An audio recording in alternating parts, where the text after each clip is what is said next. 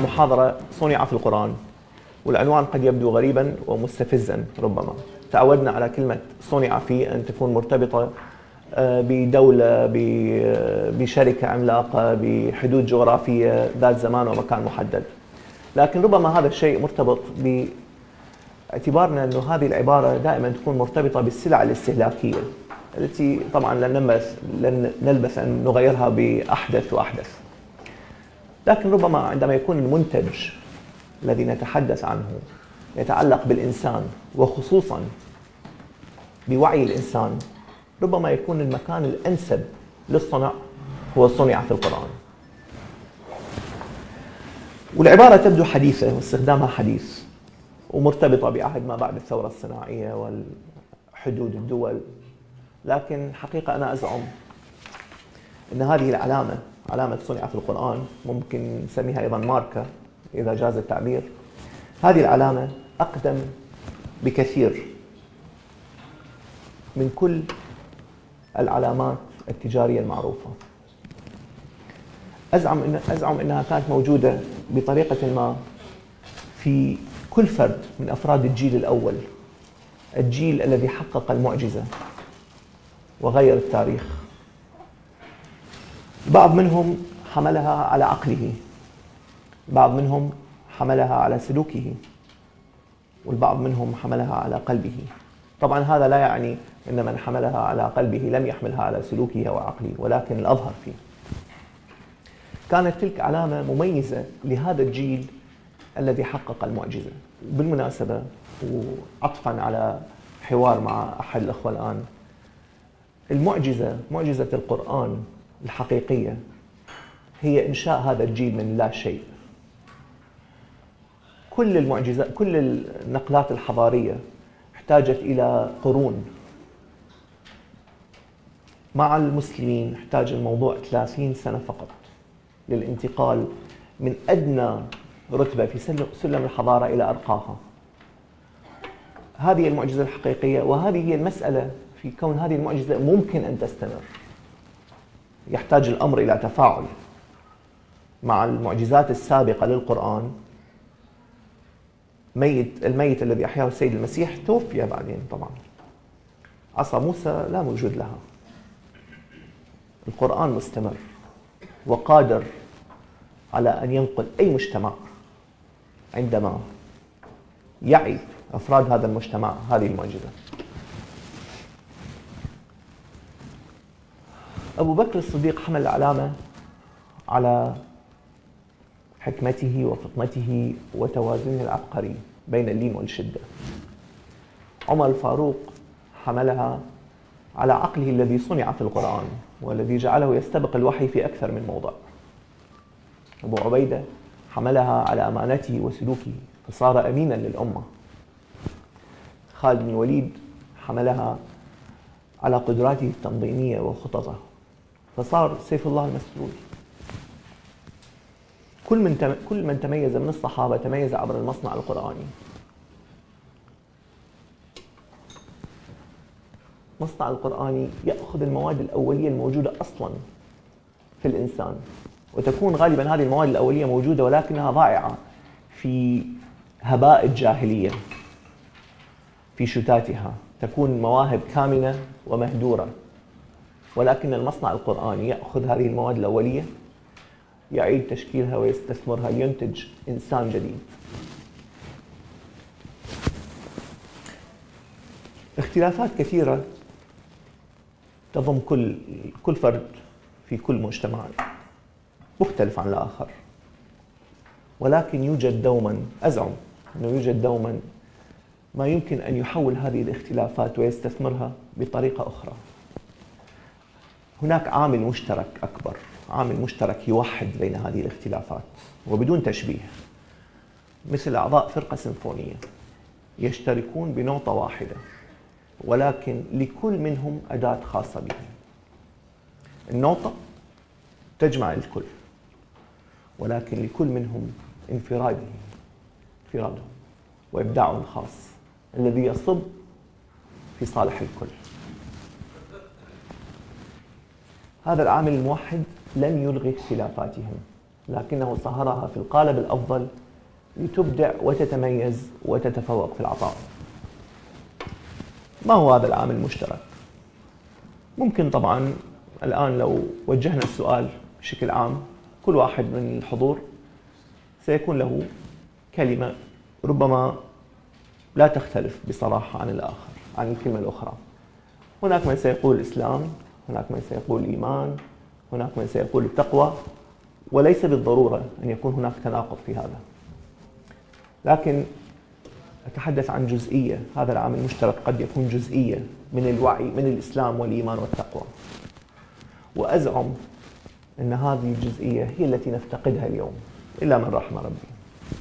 هذه الجزئية هي الوعي الوعي الذي صنع في القرآن. صحيح أنه المؤتمر عنوان صناعة الوعي ولكن يعني لم أقصد ذلك. هذا الوعي يشبه الجزء الأساسي من أي تفاعل الذي لابد منهم أن يحدث هذا الجزء الذي لابد منه لكي يحدث التفاعل لكنه ليس بالضرورة أن يكون عنصر من عناصر المشاركة في التفاعل. لكنه يطغى عليها ويتخللها حتى لو لم يكن موجودا. كل تفاعل حتى يحدث يجب أن يكون هناك طاقة تنبعث لكي يحدث هذا التفاعل. دون هذه الطاقة تبقى العناصر في حالة غير فاعلة.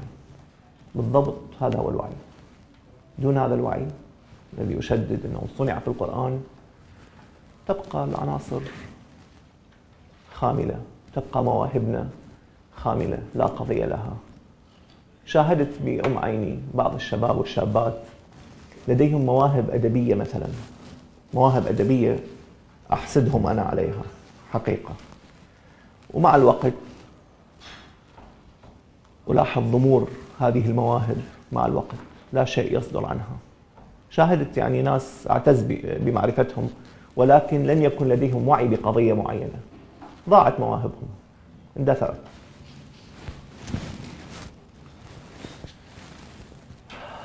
هذا الوعي كتبت عليه هذه العلامة الأغلى من كل العلامات والأرقى من كل العلامات. واللي مقاييسها لا هي مقاييس الآيزو وهي ولا هي مقاييس ال... ولكن مقاييس عابرة للزمان والمكان.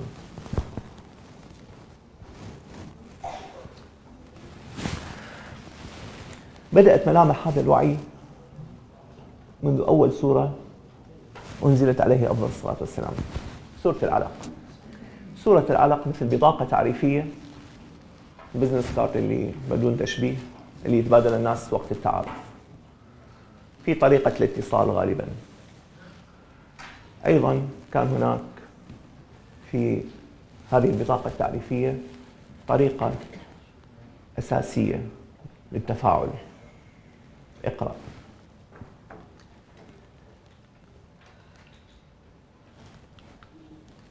اقرأ ماذا كانت الكلمة الماذا هنا مفتوحة؟ الماذا هنا غير محددة؟ لا يوجد شيء يقول لك ماذا ستقرأ. هل يعقل أن يكون هذا الشيء هل يقول هل يعقل أن يبدأ الوحي بدعوة قد يفهم منها التفلت وترك الانضباط؟ المسألة هو أن نفس البطاقة التعريفية وإن لم تحدد لك ماذا تقرأ؟ وتترك لك باب القراءة مفتوحة. لكنها ستعطيك في نفس الوقت في نفس البطاقة الوسيلة للقراءة. التي هذه الوسيلة تجعل قراءتك وانفتاحك واطلاعك زيادة في مناعتك وحصانتك تقرأ بانفتاح ولكن لديك آلة معينة تزيد في حصانتك ومناعتك. ماذا مفتوحة؟ لكن الكيف نترك الجواب الآن. ما هي القراءة أصلا؟ هذه الأحرف بالنسبة لنا الآن طلاسم حتى حتى العربية بالمناسبة غير مفهومة. كل قراءة تعتمد على ما تعلمته قبلها. لا يمكنك أن تقرأ ما لم تتعلم كيف تقرأ القراءة هي عملية فتح شفرة. كل شيء يبدأ كل حرف ورمز وكذا هو مثل كود. مثل شفرة غير واضحة. إذا ما كان عندك برنامج فتح الشفرة لن تستطيع أن تقرأ. فتح الشفرة هذه هي تعتمد على العدة المسبقة التي تملكها تملكها أنت أصلا. وطبعا بين قوسين مهمة جدا ونتذكرها دائما. قراءة ليست فقط قراءة أحرف قراءة تجارب حياة قراءة مشاهد قراءة كل شيء.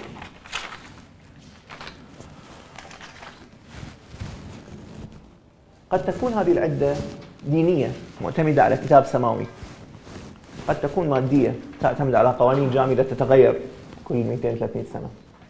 قد تكون خرافية أسطورية. قد تكون ليبرالية تعتمد على مبدأ أيديولوجي يزعم وإنه ليس أيديولوجيا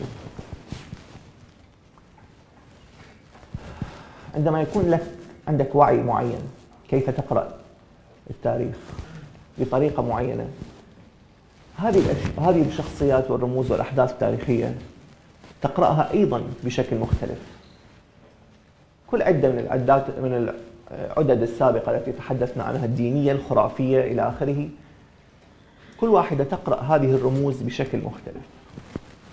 لا يوجد توحيد بينهم. كل واحد يقرأها بطريقته الخاصة التي امتلكها أصلا. وأقصد بطريقة الخاصة لا أقصد أنه خصصها. غالبا يكون هذا استلام من مجتمع.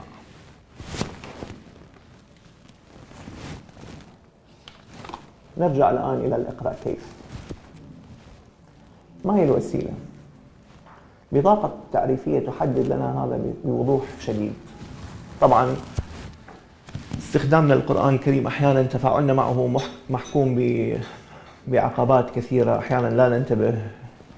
ليس مجالنا هذا بكل الأحوال.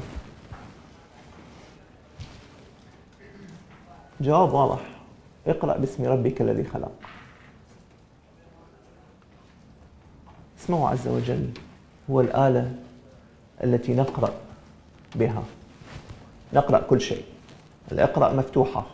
الوسيلة محددة. اقرأ باسم ربك الذي خلق. فيها أربع آه، اتجاهات في التفسير. هناك من يقول أنه المعنى هو الاستفتاح باسمه عز وجل. هناك من يقول أنه على اسمه مثل يعني اقرأ على اسم ربك.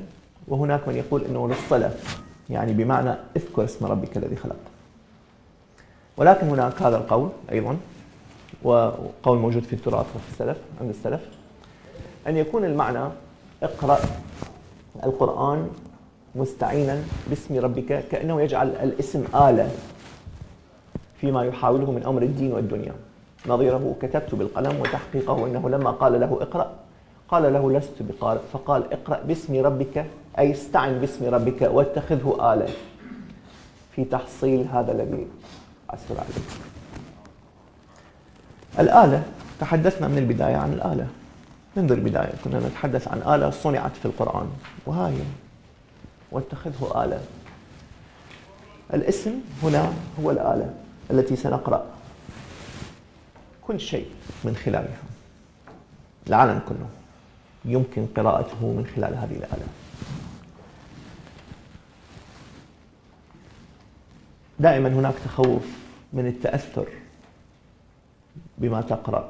لا تقرأ كذا لا تقرأ كذا قد تتأثر كذا. عندما يكون لديك الوعي عندما عندما تكون لك عندك العدة المسبقة للقراءة لا لا يمكن أن يكون هناك خوف. بالعكس كل ما ستقرأه سيضيف في مناعتك وحصانتك. سيكون مثل اللقاح دائم معك.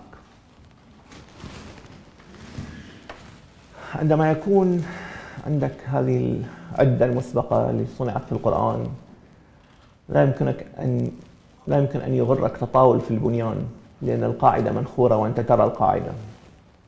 لن يغرك بريق زائف لمعدن رخيص. ويجعلك ترى الأشياء على حقيقتها فلا يغرك تطاول في البنيان ولا بريق عابر مراجعة. كل عملية قراءة سواء كانت موجهة للكتب أو العالم لا يمكن أن تتم إلا من خلال آليات معينة تسبق عملية القراءة وتشمل تعلم ما تعنيه الرموز المكتوبة. الأمر بالقراءة الذي افتتح به الوحي جعل من مادة القراءة مفتوحة دون ما تحديد لكنه حدد الوسيلة. هذه الوسيلة حددتها سورة العلق وهي باسم ربك الذي خلق لكن أي أحد يسأل يعني ما, معنى هذا الكلام؟ عمليا أعطينا شيء عملي. ما معنى هذا الكلام؟ كيف يمكن عمليا أن يكون اسم الله عز وجل وسيلة للقراءة؟ الاسم يعبر عن المعايير والمقاييس التي يقررها عز وجل. كل مقاييس الخطأ والصواب وكل معايير الحلال والحرام هي التي محتوات في هذا الاسم. أي واحد الآن يعترض. كيف انتقلنا من الاسم إلى المعايير؟ يعني قلنا أن القراءة بالاسم شلون صارت معايير؟ صح. سورة العلق حددت اسم ربك الذي خلق. المعنى واضح جدا بس للأسف بعض ما يتبلد على تفاعلنا مع القرآن يغطي. عندما يكون وعندما يكون المثال متعلق بحياتنا البسيطة والاستهلاكية نفهمه رأسا فورا. عندما تشتري جوال من ماركة معينة لا يمكن لك أن تستعمل كتاب كتيب الإرشادات الخاص بماركة أخرى. مستحيل. لماذا يكون الأمر مختلف عندما يتعلق بك كإنسان. من خلق هو من يجب أن تتبع إرشاداته وتعليماته معايير ومقاييس ولهذا كان الاسم حدد ربك الذي خلق.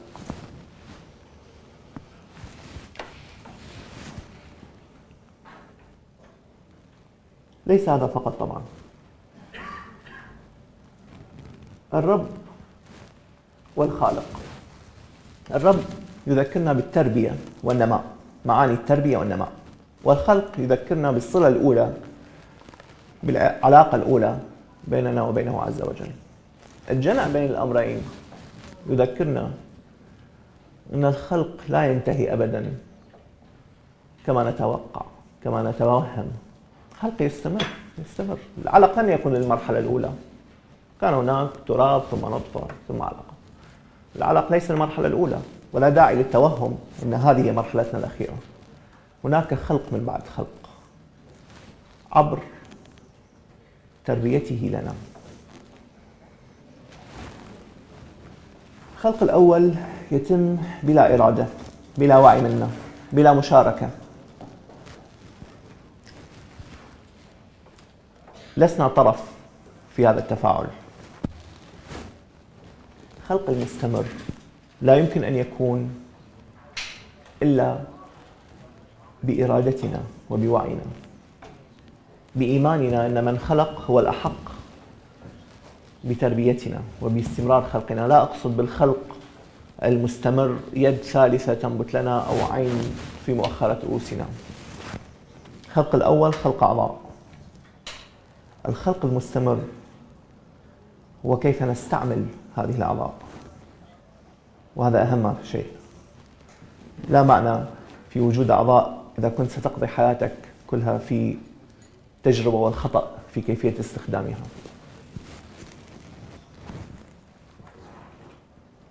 لكن من كرمه عز وجل أنه لم يكتفي بخلق الأعضاء وإنما أيضا أعطانا طريقة الاستعمال.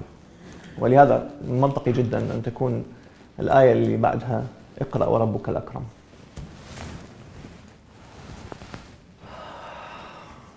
نجي على القلم. علاقة القلم بالوعي حتمية. ليس فقط لأن وسيلة لتدوين نتاج الوعي وإضافة مادة أولية للفعل أقرأ للفعل أقرأ.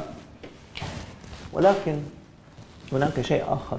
طبعا ولا معنى أن هذا يتعارض مع التفاسير اطلاقا كون القلم كناية عن تدوين أعمالنا في صحائف الأعمال ابدا هذا معنى آخر لا يتعارض ما هو القلم أصلا؟ لماذا سمي القلم؟ هذا تعريف القلم من لسان العرب مادة قلم قيل للسهم القلم لأنه يقلم أي يبرى وكلما قطعت منه منه شيئا بعد شيء فقد قلمته من ذلك القلم الذي يكتب به. كل ما يقلم هو قلم. هل لهذا علاقة ب بعدة الوعي بالحديث عن عدة الوعي؟ نعم. لأن هذا التعريف هو بالضبط تعريف عملية التجريد. عملية التجريد هي عملية عقلية. لا توجد إلا عند البشر. كل المخلوقات الأخرى لا تملك هذه العملية. عملية عقلية يتم من خلالها عزل وفصل المعلومات المتعلقة بموضوع معين للوصول إلى مفهوم عام يتجاوز التفاصيل إلى ما هو مشترك وعام مثلا أنواع السيارات مختلفة جدا حتما. عملية التجريد هي التي تمكن من بري التفاصيل تبري تفاصيل غير مهمة. ألوانها ألوان السيارات ماركاتها سرعها. المشترك في السيارة هو وجود أربع عجلات محرك وسيلة إلى آخره. هذا هو المشترك. وهذا هو بالضبط عملية التقييم. هذه العملية بالمناسبة ما كان يمكن لفكر أن يتقدم لولا عملية التجريب. اسمها ابستراكشن ومهمة جدا كعملية عقلية للوصول إلى الخلاصة. التقليم والتجريب عبر التقليم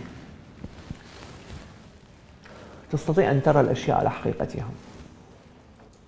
التاريخ تجارب الحياة تخرج من تفاصيل الأسماء والأماكن تسمع فرعون يقول ما أريكم إلا ما أرى. تسمعه مرة في القرآن وتسمعه مرات في التاريخ. أحيانا بنفس أساليب فرعون بالحديد والنار. ولكن أحيانا تسمعه يقول بطريقة أخرى. ما أريكم إلا ما أرى.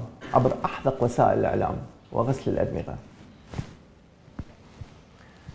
ترى إبليس بشحمه ولحمه في الجنة. يمارس أول خديعة في التاريخ.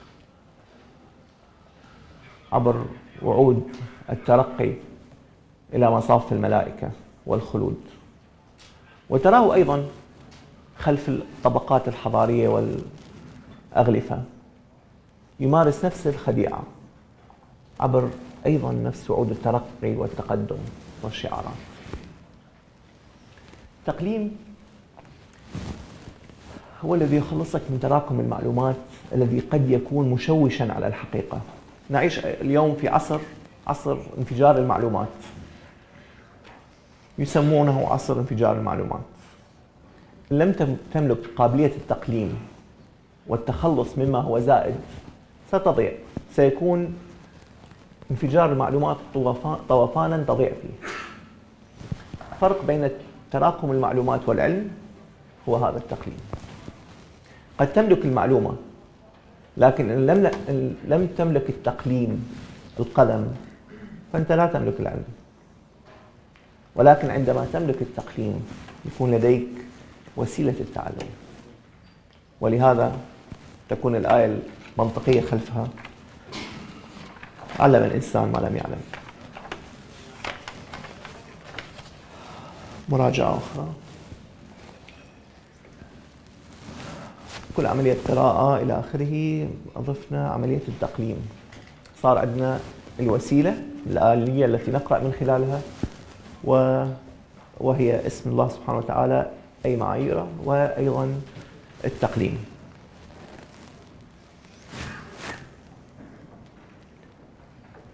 غالبا عندما يتحدث عن علاقة القرآن بالوعي تكون الأدلة مستمدة من القرآن نفسه من الآيات التي تتحدث عن هذا.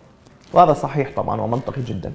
ولكن يزعم أيضا أن هناك في لفظ القرآن نفسه اللفظ بمعنى اللفظ ما يمكن أن يكون الشاهد الأول أو الدليل الأول على علاقة القرآن بالوعي طبعا هناك خلاف في لفظ القرآن. هناك من يقول أنه لفظ القرآن آه، اسم علم غير مشتق. مثل التوراة والإنجيل وهذا الأمر رد عليه بعض السلف. وهناك من يقول أنه مشتق ولكن من فعل آه، قرنة بمعنى أن القرآن يشتمل على القرائن والأدلة. وهناك أيضا وهو الرأي الأرجح أنه لفظ القرآن مصدر بوزن الغفران مشتق من قرأ بمعنى تلا وسمي به المقروء تسمية للمفعول بالمصدر وقد رجحه كثير من العلماء. وقريب منه قرأ بمعنى أظهر وبين لأن القراءة أظهار إظهار للألفاظ. إذا القرآن مشتق من الفعل قرأ الوحي أيضا ابتدأ بكلمة اقرأ. فلا يمكن أن يكون هذا صدفة. نذهب إلى الغار.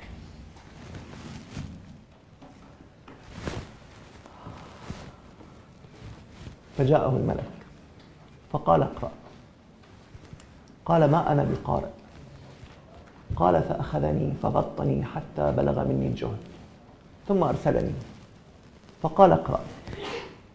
قلت ما أنا بقارئ. فأخذني فغطني الثانية حتى بلغ مني الجهد. ثم أرسلني. فقال اقرأ. فقلت ما أنا بقارئ. فأخذني فغطني الثالثة. ثم أرسلني. فقال اقرأ باسم ربك الذي خلق. فلننتبه هنا. الرسول صلى الله عليه وسلم رفض بالنيابة عنا وعن البشرية كلها.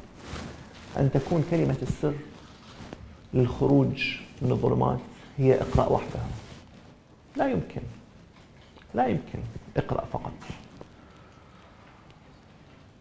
لأن هذه هذه الدعوة قد يفهم منها التفلت اقرأ منفتحة لقد أدرك ذلك بحكمته. لذلك جاءت تكملة الآية لتؤكد ذلك. ليست اقرأ فقط ليست اقرأ وبعدها نقطة انتهى. بل هي اقرأ باسم ربك الذي خلق. لديك فعل أمر ولديك معه الوسيلة.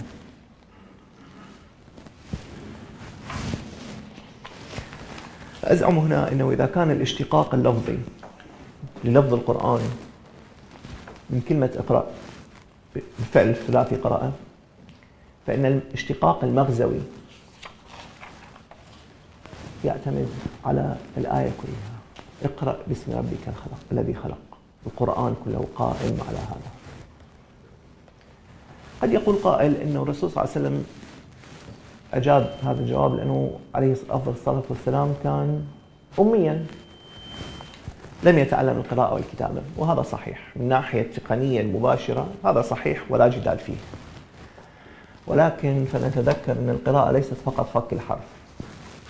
القراءة أيضا هي فهم العالم. كنا كلنا كنا أميون. الأميون ليس فقط من لا يعرفون القراءة والكتابة. كل الحضارات كل المعارف كل الفلسفات كانت أمية بمعنى ما ما دامت غير قادرة على فهم العالم كما أراد له خالقه أن يكون. لكن سبحان الله جاءت اقرأ لتغير هذا تعطينا فرصة.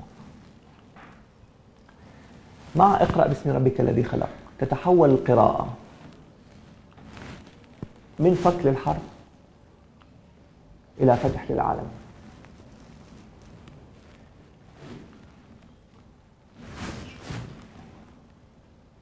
طيب يعني لو كان هذا صحيح ليش ما نعرفه. لو كان هذا صحيحا وليس مجرد رأي. كان أفضل أن يكون في شيء واضح آية واضحة بهذا الخصوص. حقيقة في آيات كثيرة ولكن تعاملنا مع القرآن لمجرد التلاوة وأحيانا يحجب عن عنا أمور واضحة كالشمس بالمناسبة كلمة عربيا هنا في الآية الكريمة لا تعني بالضرورة فقط. عربية اللسان وإنما أيضا تعني الوضوح. لعلكم تعقلون. لعلكم أفلا تعقلون؟ لعلكم تعقلون. العقل. ما العلاقة بين الربط بين ما الربط الحقيقي بين العقل والوعي؟ كل ما هو عقل في القرآن مغموس في هذا الوعي. العقل لغة هو الربط. قلها وتوكل اربطها وتوكل. حتى كلمة العقال لا تزال تحمل ذلك. لكن أي ربط بالمعنى القرآني؟ ربما هو الربط بين الأسباب والمسببات. ربما هو الربط بين الآيات والواقع. ربما هو الربط بين الكتاب المقروء وكتاب الكون المفتوح. وربما هو كل ذلك. ربما هو الربط بين العالم كما هو وبين العالم كما أراد له خالقه أن يكون. والعقل الذي نتحدث عنه ليس عقل بالمطلق والحقيقة أنا من الناس اللي يعتبرون أنه ما في عقل بالمطلق إطلاقا ما في شيء اسمه العقل بالمطلق. في عقل يكون نتاج مؤثرات ثقافية وحضارية وهذه في دراسات في علم النفس الاجتماعي تؤكد ذلك. مثال على ذلك في فرق لحد الآن بين العقل الصيني نمط التفكير الصيني ونمط التفكير الغربي. هناك تركيز على السياق العام في العقل الصيني والآسيوي عموما وهناك تركيز على التفاصيل في العقل الغربي. هناك ميل إلى انسجام وتقليل التناقض آه، عند في نمط التفكير الصيني. وهناك تراث من المناظرات والجدل في العقل الإغريقي والذي استمر في العقل الغربي. هناك تركيز على الجماعة في العقل الصيني وهناك تركيز على الفرد في العقل الغربي. هذه الاختلافات تنتج نمط تفكير مختلف وتنتج بالتالي عقل مختلف. وهي مجرد أمثلة نحن لا نتحيز هنا إلى هذا أو ذاك. نحن نتحدث عن عقل يتشكل عبر القرآن. وطبعا هنا في تراث أيضا من سوء الظن بين العقل والنقل في تاريخ الأمة الإسلامية. لكن الحقيقة العقل الذي يتشكل عبر القرآن لا يمكن أن يتناقض مع النقل لأنه تشكل عبر النقل. مع العقل الذي يتشكل عبر القرآن ليس التناقض وحده مستبعدا. مسألة مو مسألة تناقض. حتى سؤال أيهم أول أيهما أول عقل أم نقل؟ مستبعد. العقل هنا أصلا قد تشكل عبر النقل. فكيف يمكن له أن يكون قبل أو بعد النقل؟ إنه أداة لقراءة النقل تشكلت عبر النقل نفسه وتهيأ بذلك لتكون القراءة الإنسانية الأدق للعالم. ونقول أدق ونؤكد أن هناك دائما ما هو نسبي في هذا الموضوع ما دام هناك جانب إنساني في المسألة ولكن مطمئنون. إلى أنه طالما كانت هناك آلة الوعي التي صنعت في القرآن فإن هذه القراءة ستظل أدق من غيرها وستظل تصحح نفسها. الصورة لها علاقة بسؤال مشهور جدا عن البيضة والدجاجة. أيهما أول؟ وأنا بهالمعنى هذا أنه لا يمكن لسؤال العقل والنقل أن يقال أيهما أول. لأنهما مثل توأمين سياميين ملتصقين. واحد اسمه عقل وواحد اسمه نقل لا يمكن لا يمكن الفصل بينهما. طيب تحدثنا عن وعي صنع في القرآن. ولن ندعي أننا نمتلك نمتلكه. لو كنا نمتلك الوعي الذي صنع في القرآن ما كان وصلنا إلى ما وصلنا إليه. طيب أين صنع وعينا اليوم؟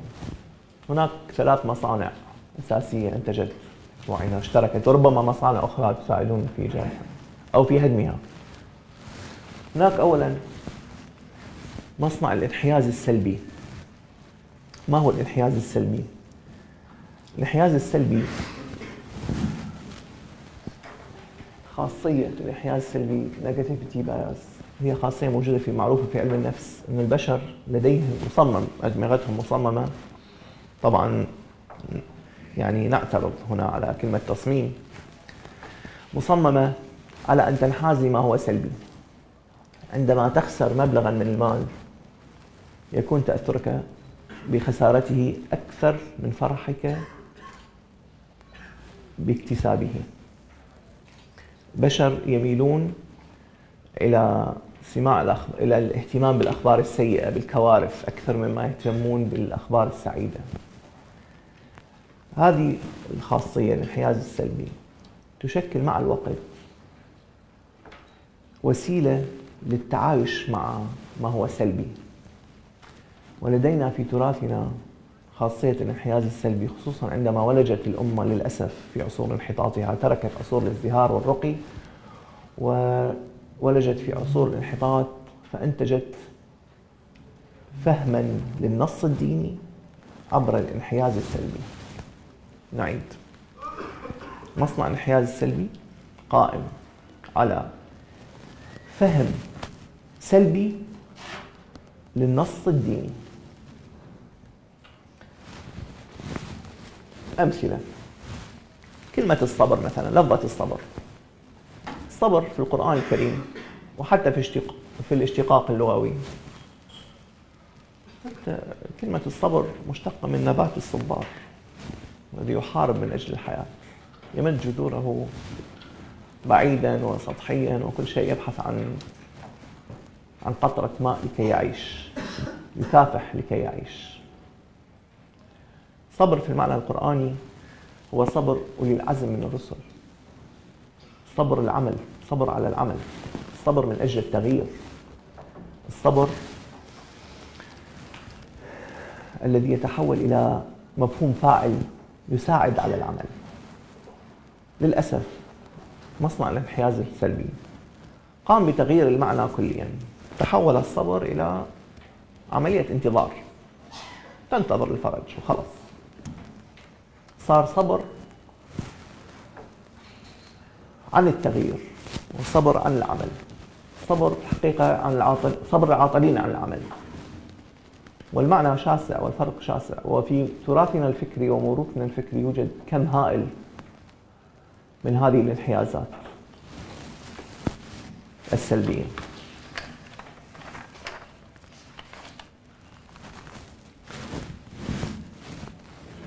المصنع الثاني هو مصنع الأحاديث الضعيفة والموضوعة. إذا كان هناك فهم سلبي لنص ديني فهناك أيضا كم هائل من الأحاديث الضعيفة والموضوعة. وأحيانا بعضها تكون مجرد أقوال مأثورة كانت سائرة في وقتها ولكنها ليست نصا دينيا. ممكن تكون حكمة عابرة. ولكن منح منحها القداسة المشكلة في منحها القداسة عبر وصفها بالنص الديني. بعضها تم التساهل معها باعتبارها من فضائل الأعمال. المشكلة أنه تعريف فضائل الأعمال أحيانا يكون نتاج مصنع الأول مصنع الانحياز السلبي. فالمسألة مرتبطة. أمثلة طبعا كثيرة جدا والحرب عليها شعواء يمكن أن تكون. صلوا خلف كل بر وفاجر مثلا. السلطان ظل الله في الأرض إلى آخره.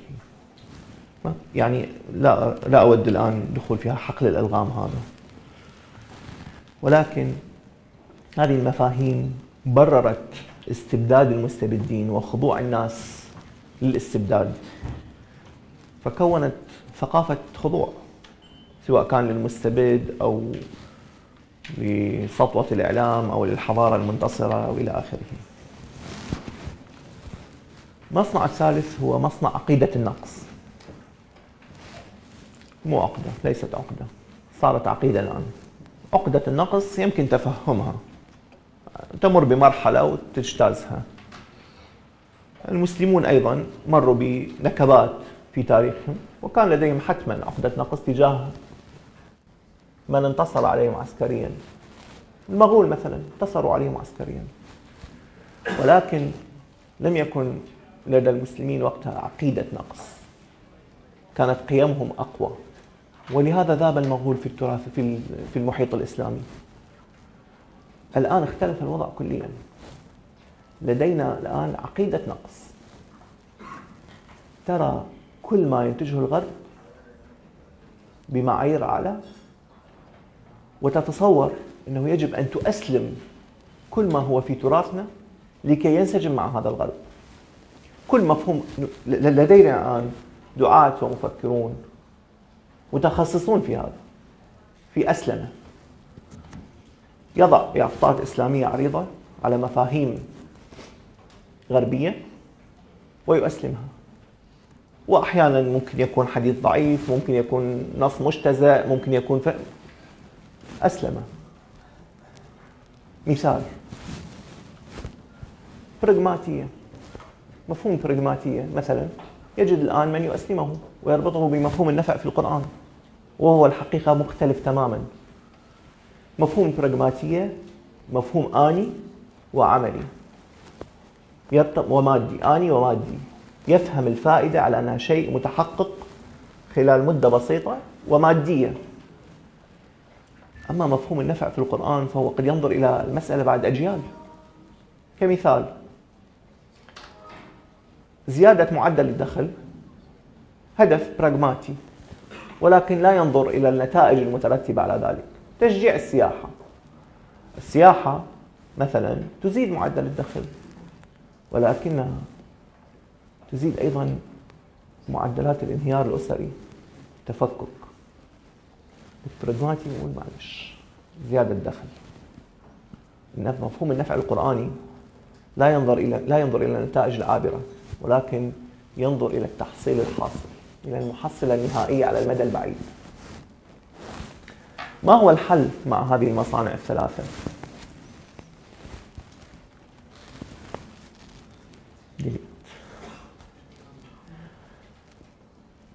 ليس سهل هذا طبعا. ويحتاجكم بالتأكيد. يحتاج هذا الجيل من الشباب الذي عليه أن يقوم بعملية استئصال كبيرة جدا. لا يمكن لك أبدا أن تزرع نبتة إيجابية إذا لم تستأصل الأدغال الموجودة في التربة. إذا كان البناء آيلا للسقوط لن ينفع الترميم. يجب أن تهدم.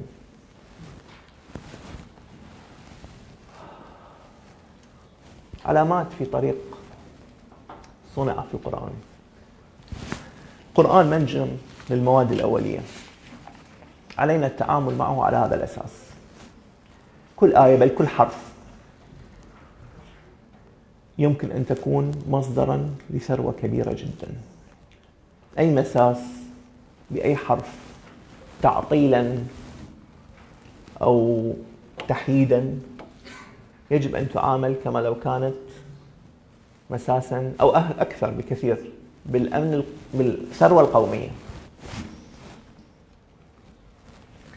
القرآن هو المعيار الأول الذي يجب أن تخضع له كل المفاهيم الجديدة. بعض هذه المفاهيم صارت تبدو كما لو كانت بديهية ونتعامل معها على أنها من المقدسات والمسلمات التي لا يجب أبدا المساس بها. مثل مفهوم الحرية الشخصية كمثال. مفهوم الحرية الشخصية صار الآن مسلما. حتى الشخص يتدين يتدين تحت شعار ستار الحرية الشخصية تحت شعار عفوا الحرية الشخصية. شخص يطول ذقنه يقول حرية شخصية. محجبة تحجب يقول حرية شخصية. لا بأس. لكن يجب أن نفهم أن هذه الحرية الشخصية في سياق عام سياق من شاء فليؤمن ومن شاء فليكفر. تحت شعار قرآني أنه حرية شخصية تتحمل مسؤولية اختيارك وتبعاتها وليس الأمر مفتوح. تراثنا أيضا من باب أولى يجب أن يخضع للمعيار القرآني. ليس كل ما في تراثنا مقدس أو بعضها أفهام بشرية. طبعا أقصد بالتراث الفهم البشري للنص. وبعضها أحيانا تكون حتى مجرد فهم بشري غير معتمد على نص.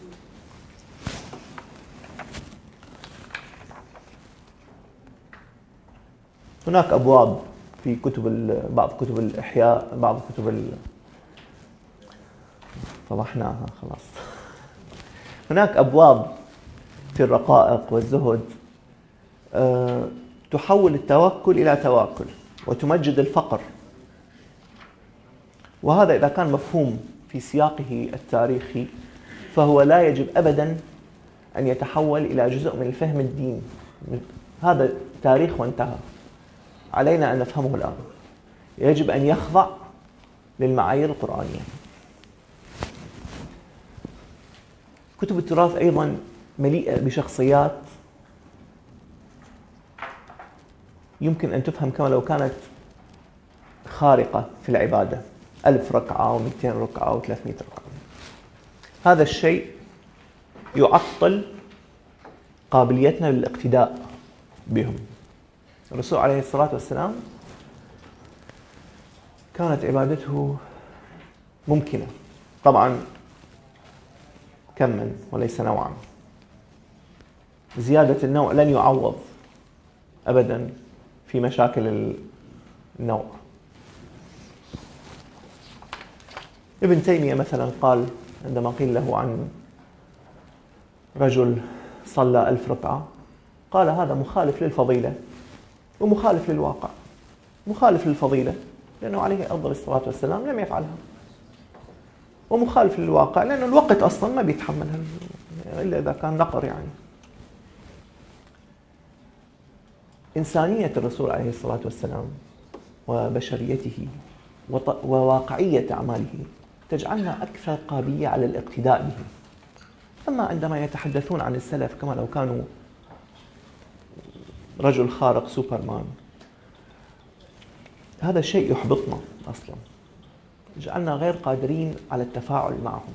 خلص لن يصلح لن يصلح هذه الأمة إلا بما صلح به أولها وأولها وأولها كانوا ألف ركعة في اليوم والآن الوقت تغير والحياة تغيرت ولن يكون هذا ممكنا بكل حال من الأحوال.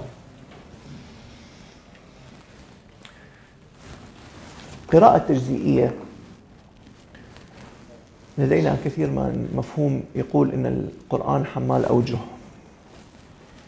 والكثير من المفاهيم التي تمرر آه، تمرر عبر قراءة تجزئية. لا يوجد أي أي تيار هدام أو أي فكر هدام. غالبا ما يجد سندا. إفراط وتفريط كلهم يجدون سندا ولكنهم غالبا يجدون سند واحد أو سندين.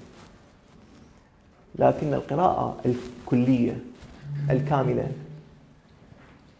هي التي تصحح هذا الشيء.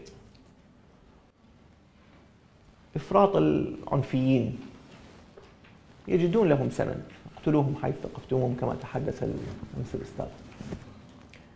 وإفراط اللا عنفيين أصحابنا لا إكراههم كذا هناك شيء.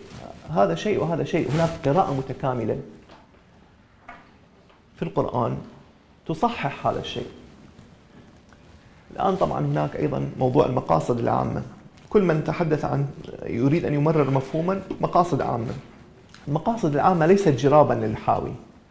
تضع فيه كل ما تريده. يتحدثون عن آية الحجاب. المقصد منها هو الحشمة المقصد منها كذا. المهم الحشمة المهم التمييز مع الإماء والتفاصيل غير مهمة أبدا.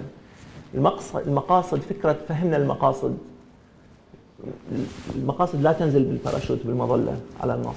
المقاصد تفهم من النص نفسه. كل صناعة عليها أن تلبي متطلبات معينة اجتماعية. ما هي متطلباتنا اليوم؟ هذا السؤال يعني. ما هو متطلباتنا اليوم التي صنع في القرآن عليها أن تلبيها؟ ألو؟ السلام. ممكن بس يعني مو من السعادة حضارة حضارة. نعم حضارة. أو النهضة طبعا لا خلاف. السلام والسعادة وكذا بس ممكن تكون عامة جدا. ال؟ القيادة. قيادة؟ نعم قيادة العالم قيادة البشرية بالضبط. ممكن هذا هدف أبعد ولكن النهضة إحنا يعني حاليا تعرف. فعلى الأقل أي صناعة من هذا النوع صناعة وعي لا يمكن أن تتجاهل دور الإعلام. أبدا. الإعلام الآن لم يعد مجرد وسيلة للنقل. صار جزء من الفكرة نفسها. في مقولة مشهورة لعالم مختص بالإعلام The media is the message أحيانا صارت الوسيلة هي الرسالة نفسها. وهذا الشيء ممكن يكون يوصل فكرة حتى لما يكون ترويج لمنتج لسيارة. عندما يروج لسيارة فارهة يروج فكرة معه. فكرة أن اقتناء السيارة سيجلب لك السعادة. ليس مجرد اقتناء سيارة يروج. عبوة كاملة للمفاهيم. عبر هذا. لا يمكن أن نصنع وعيا قرآنيا بدون الإعلام. المشكلة طبعا هناك أنه الإعلام بصورة عامة يتطلب مردودا ماليا. الإعلام الذي يروج لصناعة وعي قرآني ليس بالضرورة أن سيجد مردودا آنيا عاجلا. ربما على المدى البعيد. ربما أخرويا. لكن نجد كثيرا من يتبرعون لبناء المساجد الصغيرة.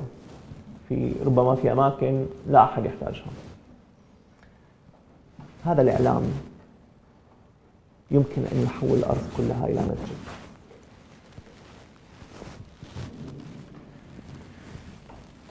ما هو الفرق؟ ما هو الفرق في النهاية بين كل هذا الكلام بين ما قبل إقرأ وما بعد إقرأ؟ اقرأ باسم ربك الذي خلق. ما هو الفرق؟ كيف نرى فرقا جوهريا بين إذا امتلكنا آلية اقرأ باسم ربك الذي خلق وبين إذا لم لم نمتلكها. الإيمان بلا اقرأ باسم ربك الذي خلق يصبح خرافة.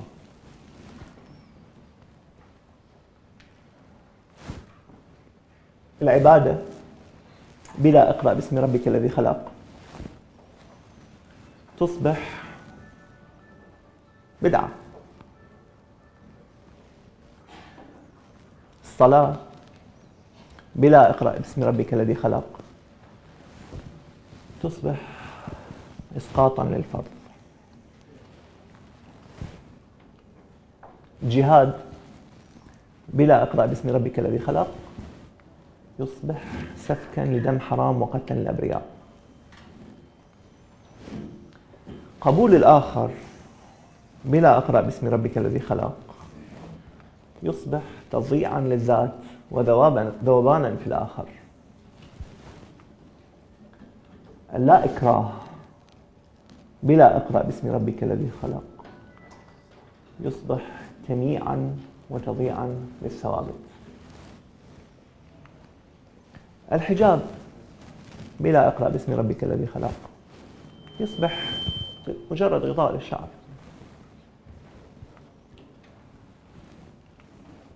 التمسك بالدين بلا الوعي المتكون عبر إقرأ باسم ربك الذي خلق.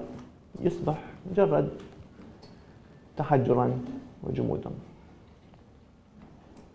والتجديد بلا إقرأ باسم ربك الذي خلق يصبح تفلتا. لكن سؤال ماذا يكون القرآن لو كان بلا إقرأ باسم ربك الذي خلق؟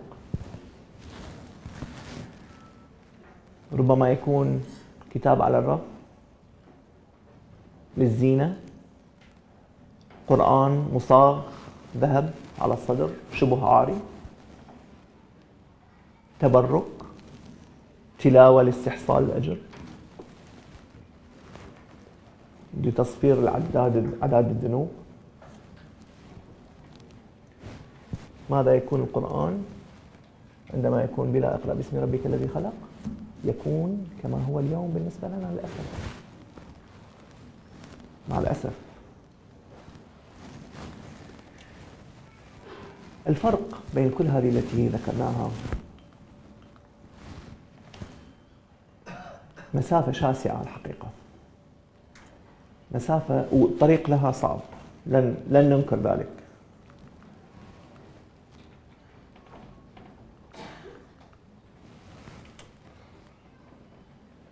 ولكن سفينة أيضا كانت هناك في وقت نوح. كان الطريق لها صعب. واستمرت الدعوة قرون. وسبحان الله من المرات النادرة التي ذكر فيها الوعي في القرآن الوعي لفظا كان عند الحديث عن هذه السفينة.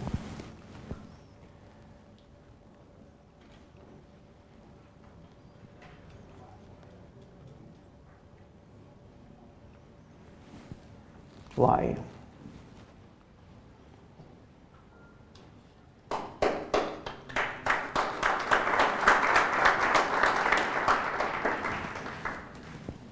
كل ثقة أن بين الحضور هنا من الذكور والإناث من سيبني هذه السفينة. والموضوع مطول حتما. لكني كل ثقة أنكم ستكونون ممن يحملون الألواح والدسر ويبنون السفينة. شكرا جزيلا.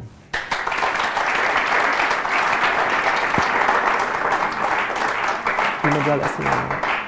أسئلة؟ في. نعم. آه إذا في أسئلة. نعم. الله يخليك.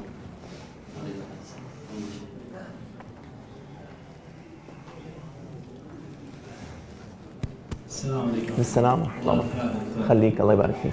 آه، في عندي في آه، هو اسم الله عز وجل هو الآلة التي نرفع بها كل شيء. نعم. الآلة يعني ما عندي كامل نعم. مبدئيا هي النص اللي أخذته من تفسير رازي مبدئيا.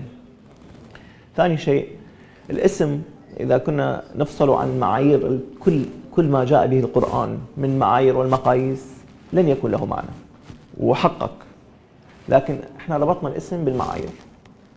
لما حدد اسم ربك الذي خلق فهو قد حدد الصانع هو من يحق له أن يصدر المعايير والمقاييس. فأنت تقرأ العالم كله من خلال هذه المعايير والمقاييس.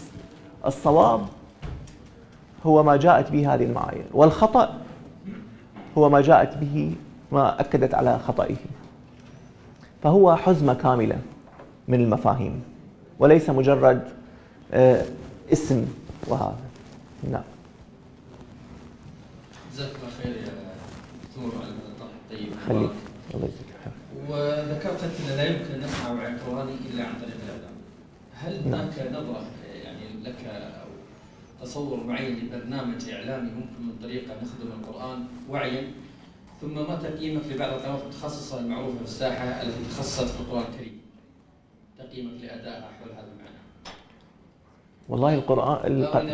نعم. نعم نعم آه، القنوات تكاثرت بحيث إن متابعتها وتقييمها يحتاج إنه واحد يترك آه، لا ينتج أي شيء. فأنا بصراحة مقصر في في هذا الأمر. وهذا ليس تهربا يعني بس حقيقة. آه، لكن آه، أعتقد إنه موضوع الرؤية الإعلامية يجب أن يتم من خلال متخصصين في الإعلام. يعني فنقسم الأدوار أفضل. هناك قصور واضح. يعني لن أدعي ابدا إنه الإعلام الآن طبعا هذا شيء طبيعي. الإعلام الد- الإسلامي لا يزال في بدايته ولا يمكن أن نبخس حق آه، الكثيرين ممن يعملون بجد. ولكن هناك مشاكل لأنه هناك ما هو قبل الإعلام. أنا قلت بوضوح هذه النقطة عن الإعلام كانت آخر نقطة. فأنا بصراحة أعتقد إنه المادة الأولية أصلا لم يتم العمل عليها بعد. فإذا لم تكن المادة الأولية جاهزة فالإعلام يعني سيكون هناك طبعا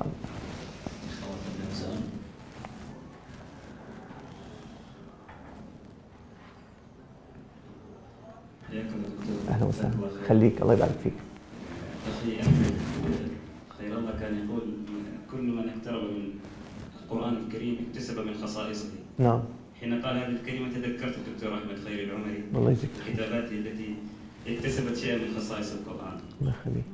إن شاء الله نكون عند حسن ظنك. آه، الأمر بتدبر القرآن الكريم في مقابل النهي عن الكلام في القرآن الكريم بدون علم. آه، أعتبر أن هذا حائط وهذا حائط ما هي المسافة اللي نستطيع أن يعني نأخذ فيها راحتنا. عندما لا يكون هناك تناقض يعني التناقض هو الحد. عندما عندما تتكلم في القرآن الكريم وتجد أن هذا الشيء يناقض شيء آخر في القرآن الكريم عليك أن تعرف أن قراءتك خاطئة. ولكن كلما كان الأمر متسق مع عموم الآيات لا أرى سببا في أن يكون هذا حاجز مخيف. أهلا وسهلا. الجزئيات اللي وضحتها مشكورا يعني خطوات الانطلاق اللي هي عندما استخدام الحديث ضعيف نعم. أنا لم أقل إسلام. نعم. يعني أنا قلت الأسلمة. الأسلمة نفسها نعم. النقص وبختامها عقيدة النقص بجانب لما كان رجل خالد بس الجزئية السؤال واضحه. ما هي الطريقة التي يمكن الإنسان يعني تحديد المشاكل واضح لكن ما هي الطريقة اللي يعني يمكن الإنسان العادي مثلي الموجودين إن كانوا في المحاضرة أيا كان استخدام وسائل الوصول لاستشعارات الاستشعار أو اللمسات أو التأملات اللي نحن بحاجة لها حتى نعيش مع القرآن لحظة لحظة آه عبد المجيد نعم آه بس ممكن تعيد السؤال؟ ما هي الأدوات؟ نعم إيش هي الكيفية اللي نعم. الإنسان العامي يستشعر ويعيش مع القرآن آه، يعني الحياة المفترض أنه يبدأ يعيش فيها حتى يعني يتدرج فيها. يعني نعم. أنا عندي اعتراض أصلا على وصف نفسك ووصف الأخوة بالعامي. وفي النهاية حتى لو كنت يعني هل تعتقد أن القرآن جاء الخواص؟ تمام؟ فما هي الوسائل ما هي الأدوات آه، تجد أثره فيك؟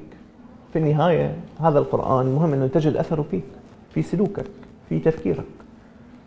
المسألة هي مسألة النتائج.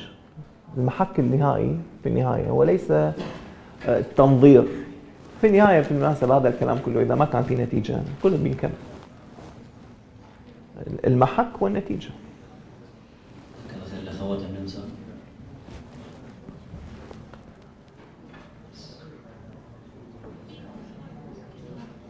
السلام عليكم. السلام ورحمة الله وبركاته. دكتور هل يعتبر الانطلاق من اقرأ باسم ربك الذي خلق نعم. لطلب العلم وقراءة العالم بشكل عام مرحلة يصل إليها الإنسان بعد اجتياز مراحل أخرى أم أنها متعلقة بقوة الإيمان؟ كيف تبدأ؟ هو مرحلة متزامنة مع مراحل أخرى وليس يعني خلال القراءة خلال التعلم إذا كان عندك وعي طبعا هي اقرأ باسم ربك الذي خلق في النهاية تبين لنا هي نمط التفكير كله وليس مجرد الآية. فالحصول على هذا النمط التفكير أو الآلية في التفكير يتم يعني تتفاعلين مع التعلم مع النظريات الأخرى وتكتسبين الحصانة. يعني في النهاية كل المحك الحقيقي هو أنه عندما تتفاعل مع مع التجارب الأخرى مع النظريات الأخرى أنه أنت لا تتأثر بالعكس تزيد حصانة. ويكون تفاعلك إيجابي بمعنى أنه تحافظ على ثوابتك وتزداد رسوخا وإيمانا. أما أنه أجل موضوع ال ال آه، الوعي القرآني إلى حين موضوع التعلم فهذه مسألة الحقيقة هذه موضوع الوعي القرآني يجب أن يغرس في الطفولة منذ الطفولة ويعني أي شيء آخر لن لن يجدي. يعني الآن كل أنماط الحياة المعاصرة الغربية بغض النظر عن التسميات تغرس في الأطفال. عبر الإعلام شئنا أم أبينا. فمن باب أولى أن اقرأ باسم ربك الذي خلق تغرس منذ الطفولة وتظل تغرس وتنمو وبالتدريج تصبح جزءا فاعلا في هذا الإنسان. السلام عليكم. وعليكم السلام ورحمة الله وبركاته. دكتور علي سؤال نعم. ذكرت أن العقل ليس مطلقا. نعم. وصورة العقل الصيني والعقل الغربي نعم. لكن العقل العربي شنو هي صورة العقل العربي؟ العقل العربي ولا المسلم؟ العربي المسلم نعم. والله هذا مشروع إن شاء الله يعني في محاولات إنه أشتغل عليه بس لن أدعي الآن إنه أنا مشتغل عليه. بس في كتبت فصل أو فصلين في المسألة وإن شاء الله يكون مشروع. يعني لكن أنا بصراحه لا أفهم يعني مسألة العقل العربي أو المسلم الحالي مسألة لا أود الخوض فيها لأنه هي نتاج المصانع الثلاثة التي تحدثتها الديليت ولكن أتحدث أحاول أن أجد أصولا قرآنية للعقل الذي يجب أن يكون. نعم. السلام عليكم. وعليكم السلام ورحمة الله وبركاته. نعم، يعني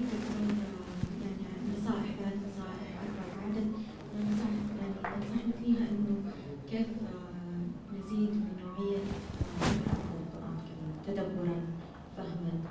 يعني إذا كان في معينة طريقة معينة. نعم. أحد الأخوة سألني السؤال قبل مين كان؟ المهم آه، الحقيقة هي نصيحة واحدة فقط. ولا تتعارض بالضرورة مع تعودك على القراءة. ولكن قراءة التدبر بالنسبة لي أنه عندما تمرين تمرين على آية فيها مثلا آه، التقوى أو المتقين أنه تحاولين البحث عن هذه الكلمة في كل القرآن الكريم. وتقرأيها ضمن آيات هذا هذه الطريقة تمنحك رؤية شمولية أكثر. وبالتالي تستطيعين المرور على الآيات كل واحدة منفردة وأنت تحملين هذه الرؤية. نعم. الله يخليك. ناخذ جوله مع الشباب نعم. الله يعطيك العافية دكتور. خليك. آه، بس عندي سؤال في سمعت أحد المشايخ يتكلم عن القرآن الكريم. نعم. يقول هو كتالوج حياة. نعم. أو يعني يعني شلون إرشادات توجيه- توجيهية للحياة. نعم. هل هو القرآن الكريم يعني فعلا يعني أمر وتنفيذ أم في أمر أبعد منه انه يجب أن نأخذه؟ واي شخص ممكن يأخذه ولا في أشخاص يأخذونه وفي أشخاص ما. في أشخاص يأخذونه وفي أشخاص يعني ما يعني طبعا لحظة لحظة. هل ت... لا لا مو موضوع إنه في ناس لن تتفاعل مع القرآن الكريم بكل الاحوال صح ولا لا؟ يعني في ناس آه، قرروا أنه يكونوا حطب جهنم. إلى جهنم. هاي واحدة. اثنين آه، أنا بتصور إنه القرآن يعطيك هذا ال software ال decode اللي يعني يكون خطوط عامة أكثر منه خطوات تفصيلية. يعني ممكن التفصيل أحيانا تفصيلات تجدها في السنة أكثر كمثال. ولكن لن تتمكن من فهم هذا الشيء إلا من خلال ربطه بالخطوط العامة اللي موجودة في القرآن. فانت يعني سألت سؤال دقيق ما شاء الله عليك إنه هل هو مجرد تنفيذ؟ لا. هو فهم. يعني هو آلة قياس. كان الموضوع أطول وكان في كلام عن آلة القياس. لا يمكن أن يكون لكل لا يمكن أن يضم القرآن الكريم كل شيء ولكن يكون فيه من كل شيء. وهذا الشيء يكون عندك آلة قياس. حدث هنا هكذا. تفعل هنا هكذا. قياس الأشياء مسطرة مثل المسطرة فليس بالضبط تنفيذ إرشادات بقدر ما هو فهم لطريقة التنفيذ. دكتور جزاك الله خير. بس آه، القراءة التكاملية للقرآن نعم. شلون تحقق؟ مثل ما مثل مثال على اللي السؤال اللي تفضلت به الأخت إنه تحاول تقرأ حسب فهمي أنا الموضوع إنه تحاول تقرأ هذا الفهم آه هذا الموضوع في كل الآيات تجمعها مع بعضها. يعني المتقين تجمع تحاول أن ترى سياق كلمة المتقين كمثال في كل الآيات القرآنية. الع- ال- العباد نفس الشيء هذا العمل الصالح نفس الشيء. يعطيك معنى وطبعا خلال سياقها من خلال سياقها وليس مجرد الايه المجتزأه يعطيك مف- مفهوم أكثر للتكامل. يعطيكم العافية. الله يخليكم. دكتور محمد عوضي آخر سؤال. آه، دكتور لكل مرحلة عمرية آه، آه، طاقة استيعابية للوعي. نعم. فكيف يكون الطفل نخلي الطفل يعي قراءة القرآن وكذلك الشباب الصغير؟ نعم. ليس بنفس الطريقة اللي نفهمها اليوم. يعني يجب أن يكون هناك متخصصين في هذا وهي قصور كبير جدا في المسألة. يعني نتصور أنه ما تكلم به مالك بن نبي أو سيد قطب صالح للأطفال هذا كلام يعني فاضي. يجب أن يكون هناك متخصصين في توصيل المعاني القرآنية للأطفال.